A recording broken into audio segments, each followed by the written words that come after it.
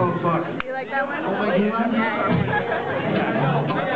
I'm so fucking tired, but I don't give a fuck because you guys are making it fucking sick. I did just use the fuck the most times in one sentence. Now be the Guinness book. New song. Just for you guys. Never played it before in front of any, every, anybody except for you guys. It's called it's called Dark Passenger.